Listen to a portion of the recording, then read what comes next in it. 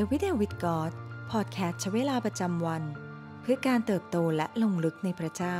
ประจำวันพฤหัสบดีที่ 19 มกราคม 2023ซีรีส์ The Pursuit of God การแสวงหาพระเจ้า วันที่หนึ่งความหิวกระหายในพระเจ้า ในพระธรรม ยอห์นบทที่ 6 ข้อที่ 44 ถึงข้อที่ 51 ไม่มีใครมาถึงเราได้ นอกจากพระบิดาผู้ทรงใช้เรามา จะทรงชักนำให้เขามา และเราจะให้คนนั้นเป็นขึ้นมา ในวันสุดท้าย มีคำเขียนไว้ในหนังสือผู้เผยพระวจนะว่า พระเจ้าจะทรงสั่งสอนพวกเขาทุกคน ทุกคนที่ได้ยินได้ฟัง และได้เรียนรู้จากพระบิดาก็มาถึงเรา ไม่มีใครได้เห็นพระบิดานอกจากท่านที่มาจากพระเจ้า ท่านนั่นแหละได้เห็นพระบิดาแล้ว เราบอกความจริงกับพวกท่านว่า คนที่วางใจก็มีชีวิตนิรันดร์เราเป็นอาหารแห่งชีวิต บรรพบุรุษของพวกท่านได้กินมานาในถิ่นทุรกันดารแล้วก็ยังเสียชีวิต แต่นี่เป็นอาหารที่ลงมาจากสวรรค์ เพื่อให้คนที่ได้กินแล้วไม่ตาย เราเป็นอาหารดำรงชีวิต ซึ่งลงมาจากสวรรค์ ถ้าใครกินอาหารนี้ คนนั้นจะมีชีวิตนิรันดร์ และอาหารที่เราจะให้เพื่อชีวิตของโลก นั่นก็คือ เลือดเนื้อของเรา เราแสวงหาพระเจ้า เพราะเหตุผลเดียวคือ พระองค์ทรงใส่แรงปรารถนาเช่นนั้นไว้ภายในเราก่อน เพื่อกระตุ้นให้เราแสวงหาพระองค์ พระเยซูตรัสว่า ไม่มีใครมาถึงเราได้ นอกจากพระบิดา ผู้ทรงใช้เรามา จะทรงชักนำให้เขามา และด้วยเหตุนี้เอง พระเจ้าจึงทรงเป็นผู้เดียว ที่ควรได้รับการสรรเสริญ ผ่านการแสวงหาของเรา เพราะความปรารถนาในการแสวงหาพระเจ้า เริ่มต้นมาจากพระเจ้า แต่เปลี่ยนแรงปรารถนาภายใน ให้ออกเป็นการกระทำภายนอก นั่นเป็นหน้าที่ของเราที่จะต้องติดตามพระองค์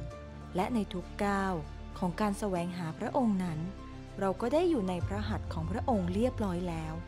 ดังที่ในพระธรรม สดุดี บทที่ 63 ข้อที่ 8 กล่าวว่า จิตใจของข้าพระองค์แนบสนิทกับพระองค์ พระหัตถ์ขวาของพระองค์ค้ำจุนข้าพระองค์ไว้ การค้ำจุนของพระเจ้า และการติดตามของมนุษย์นั้น มีใช่สิ่งที่ขัดแย้งกัน มนุษย์ต้องแสวงหาพระเจ้า อาจกล่าวได้ว่า ในส่วนของเราจำเป็นต้องมีการตอบสนองเชิงบวกเกิดขึ้น หากการที่พระเจ้าทรงนำเราเข้ามาใกล้นี้ ท้ายที่สุด ส่งผลต่อการมีประสบการณ์กับพระองค์ อย่างเป็นรูปธรรม หรือที่ในพระธรรมสดุดี บทที่ 42 ข้อที่ 1 ถึงข้อที่ 2 ได้มอบภาพเปรียบเทียบไว้อย่างน่าอบอุ่นว่า กวางกระเสือกกระสนหาทานน้ำฉันใด ข้าแต่พระเจ้า จิตใจข้าพระองค์ ก็กระเสือกกระสนหาพระองค์ฉันนั้น จิตใจข้าพระองค์ กระหายหาพระเจ้า หาพระเจ้าผู้ทรงพระชน เมื่อไรข้าพระองค์ จะได้มาเห็นพระพักพระเจ้า นี่คือการทรงเรียกอันแสนลึกซึ้ง และไม่เพียงหัวใจที่หิวกระหาย หวยหาพระองค์เท่านั้นที่จะเข้าใจ พระคัมภีร์หนุนใจเราให้มีความหิวกระหาย ที่จะรู้จักพระเจ้าอย่างยิ่งยวด การขัดความหิวกระหายนี้ไป จะนำเราให้ตกอยู่ในสภาวะ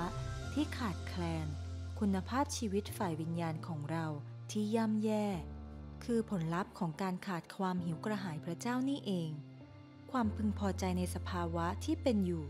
คือศัตรูตัวฉกาจของการเติบโตฝ่ายวิญญาณทั้งปวง เราจำเป็นต้องมีความปรารถนาและความกระตือรือร้นในชีวิต มิฉะนั้น เราก็จะไม่อาจสำแดงพระคริสต์แก่ผู้คนมากมายได้ พระเจ้ายังทรงเฝ้ารอ ให้ผู้คนต้องการพระองค์ด้วยสิ้นสุดใจ แต่น่าเศร้าที่เราทั้งหลายคน กับปล่อยให้พระองค์รอมาเป็นเวลานานแสนนาน และใช้เวลาไปอย่างเปล่าประโยชน์ สิ่งที่เราต้องใคร่ควรในวันนี้นะคะ มีวิธีใดบ้าง ที่เราจะช่วยให้คริสเตียน มีความสัมพันธ์กับพระเจ้า ทางความคิดอย่างสม่ำเสมอ A.W. Tozer กล่าวว่า ความพึงพอใจในสภาวะที่เป็นอยู่ คือศัตรูตัวฉกาจของการเติบโตฝ่ายวิญญาณทั้งปวง มีเรื่องใดบ้าง ที่เรากำลังพึงพอใจ ในสภาวะที่เป็นอยู่ เราจะลดท่าทีเช่นนั้น แล้วเริ่มต้นการแสวงหาพระเจ้า อย่างหิวกระหายมากขึ้นได้อย่างไร ให้เราอธิษฐานด้วยกันนะคะ พระบิดาที่รัก เรารักพระองค์ และเราอยากจะรู้จักพระองค์ ผู้ทรงเป็นแหล่งกำเนิดของทุกสิ่ง เราขอบคุณพระองค์ที่ทรงเชิญเราให้เข้าสู่ความสัมพันธ์อันแสนพิเศษนี้ ขอทรงช่วยเราให้ได้รักษาใจที่กระตือรือร้น หิวกระหายในพระองค์เสมอ ขอทรงนำเราออกจากความพึงพอใจ ในสภาวะฝ่ายวิญญาณที่เป็นอยู่ เพื่อเราจะไม่หยุดในการแสวงหาพระพักของพระองค์ เราอธิษฐานต่อพระองค์ ในพระนามพระเยซูคริสต์เจ้า เอเมน ขอพระเจ้าอวยพรพี่น้องทุกท่านนะคะ